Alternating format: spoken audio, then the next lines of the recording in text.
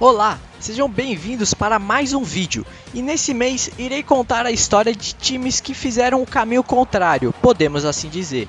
Times que venceram títulos internacionais antes mesmo de ter vencido um torneio nacional. E vale um parênteses aqui: torneios nacionais de primeira divisão.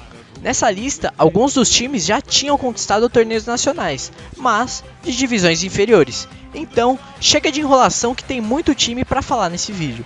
E para começar o vídeo com o pé direito, vamos mostrar que esse vídeo não vai ser composto apenas por times pequenos. No ano de 1948, o Vasco da Gama foi disputar o Campeonato Sul-Americano de Clubes, que era simplesmente o torneio precursor da famosa Copa Libertadores e um dos inspiradores para a Champions League. Pois é, a competição foi criada pelo clube chileno do Colo-Colo, junto com até então presidente da Comebol, o também chileno Luiz Valenzuela. O Vasco foi jogar essa competição por ser o campeão carioca de 1947, se juntando a outras sete equipes para a disputa do torneio, onde o gigante da colina saiu como vencedor, conquistando 10 dos 12 pontos possíveis, seguido pelo River Plate e pelo Nacional de Montevideo.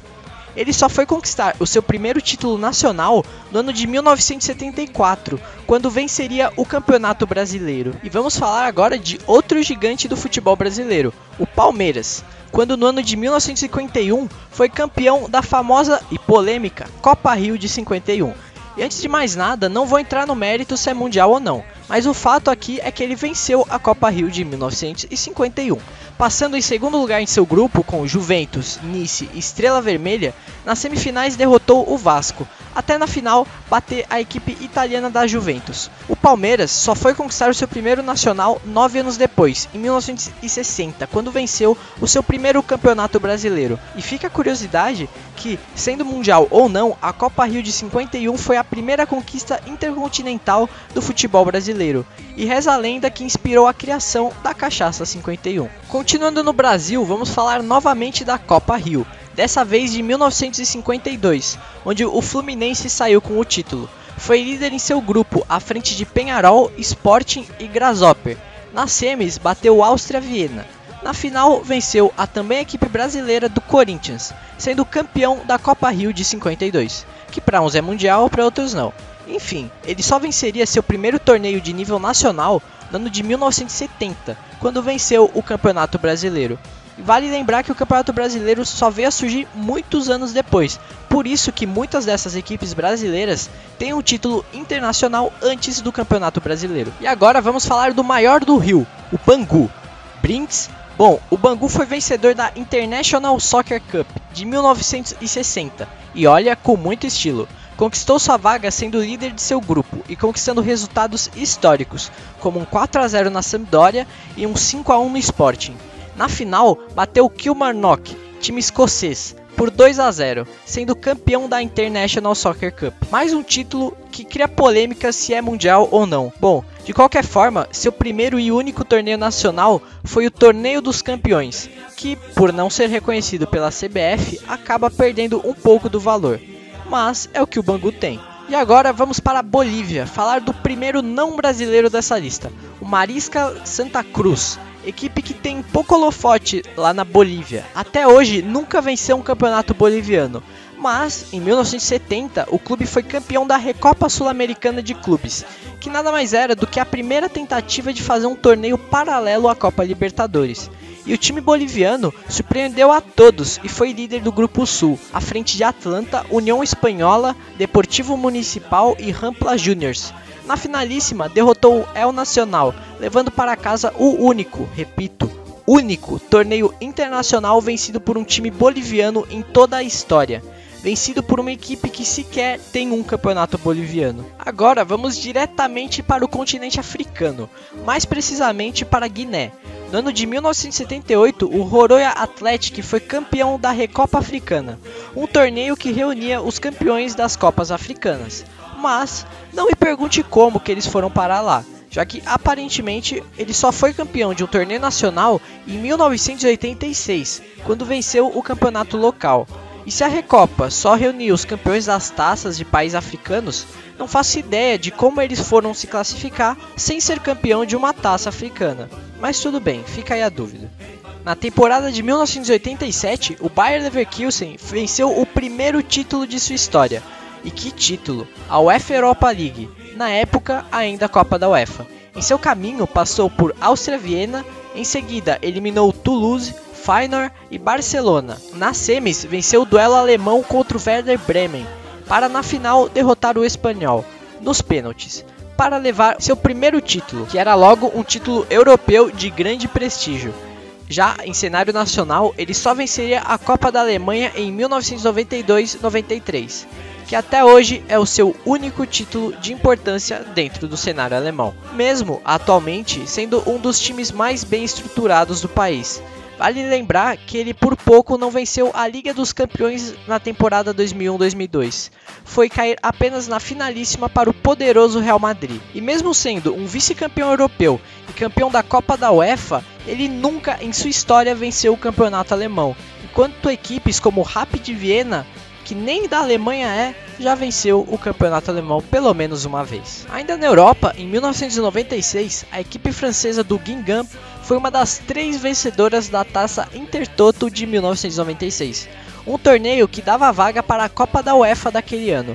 E sim, o torneio tinha três vencedores, até 2005. Era um formato bem diferente que buscava a classificação para as competições da UEFA. Mas enfim, naquele ano a equipe do Guingamp foi a única classificada de seu grupo, na liderança. Na semis bateu esse time russo com esse belo nome que eu infelizmente não vou me aventurar tentando pronunciar. Em sua final, bateu outro time russo, o Rotor Volgogrado, pelo gol fora, levando para a França a vaga e o troféu. Ele ficaria apenas com esse título em sua galeria até a temporada 2008-2009, quando seria campeão da Copa da França em cima do Rennes. E em 2014 ele repetiria esse feito contra o mesmo Rennes, se tornando bicampeão da Copa da França, ambas as vezes derrotando o Stade de Rennes. Ainda em 96, a equipe argentina do Lanús foi campeã da Copa Comebol de 1996, na época em que os times ainda davam alguma importância para essa Copa, passando por Bolívar, Guarani do Paraguai e Rosário Central. Na final, bateu o Santa Fé, da Colômbia, conquistando seu primeiro título, logo um título internacional. Eles só venceriam o argentino no ano de 2007, em uma apertura bem diferente, com o pódio sendo formado por Lanús, Tigres e Banfield. Já em 99, outro argentino teve um feito semelhante ao Lanús. O Tajeres venceu a Copa Comebol de 1999, mas na época ninguém mais ligava para o campeonato, tanto que foi a sua última edição. Eu expliquei melhor em um outro vídeo do canal, depois deem uma olhada lá.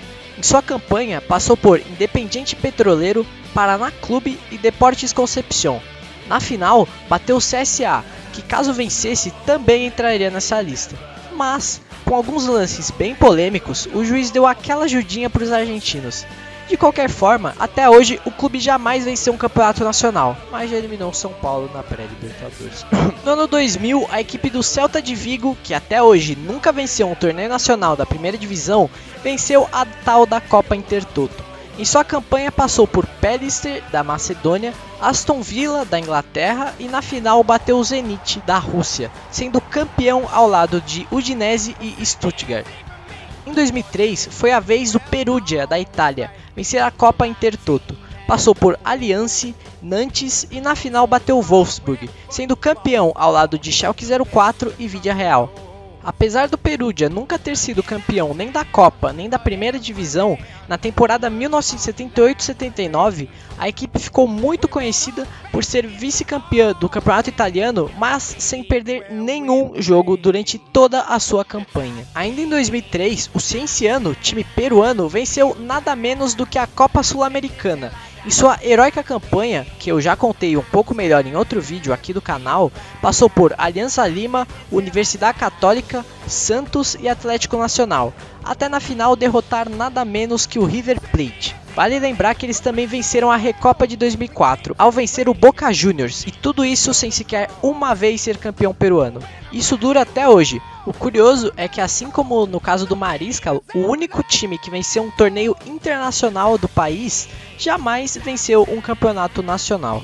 Em 2005, o recém-fundado Sydney chegava à Liga dos Campeões da Oceania. Os australianos lideraram seu grupo. Nas semis, passaram por um time do Vanuatu, até na final vencer o Magenta, time da Nova Caledônia, levando para casa o principal torneio da Oceania no seu primeiro ano de vida.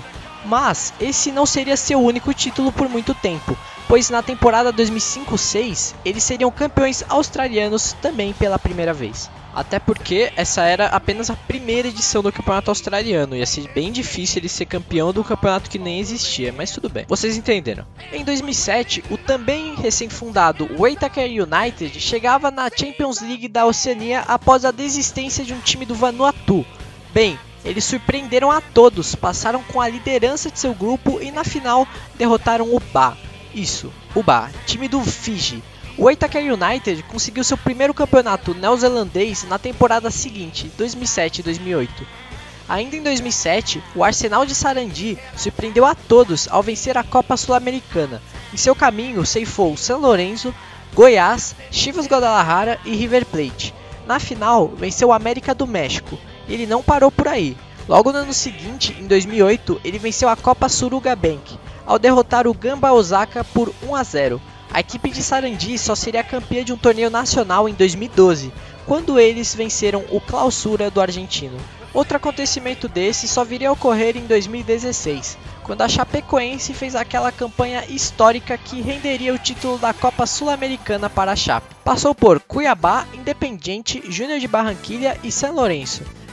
Na final, ele enfrentaria a equipe do Atlético Nacional, mas infelizmente houve um acidente de avião que dizimou praticamente todo o elenco da Chapecoense. Em um gesto nobre, o time colombiano optou por dar o troféu à Chapecoense, que até hoje não venceu um torneio nacional, apesar de ser campeã sul-americana. Até recentemente, eles eram um dos poucos times brasileiros que podiam se orgulhar de nunca serem rebaixados, mas infelizmente em 2019 a Chapecoense e o Cruzeiro terminaram o campeonato como rebaixados, perdendo esse status de incaíveis. Em 2019, o Independiente Del Valle foi campeão, obviamente, da Sul-Americana. Passou por União Santa Fé, Universidade Católica, Caracas, Independiente e Corinthians. Na final, bateu o Colón, sendo campeão da Copa Sul-Americana sem nunca vencer um torneio nacional de primeira divisão. Lembrando que eles podiam ter entrado nessa lista mais cedo, em 2016, pois quase, quase venceram a Copa Libertadores da América. Em sua terceira participação, eles foram derrotados apenas na final para o Atlético Nacional. E aproveitando que falamos da vez em que quase o Del Valle chegou a essa marca, vamos citar outros times que quase conseguiram essa proeza, para finalizar o vídeo já que está bem longo. Em 2002, o São Caetano podia entrar nessa lista, mas foi derrotado na final da Copa Libertadores para o Olímpia. Em 2010, o Goiás chegou na final da Sul-Americana, e como ele nunca venceu um torneio da elite nacional, estaria na lista, mas foi derrotado pelo Independiente da Argentina. Em 2013, a Ponte Preta surpreendeu e alcançou a final da Sul-Americana, antes de vencer quaisquer torneio nacional, mas infelizmente foi derrotado pelo Lanús na finalíssima.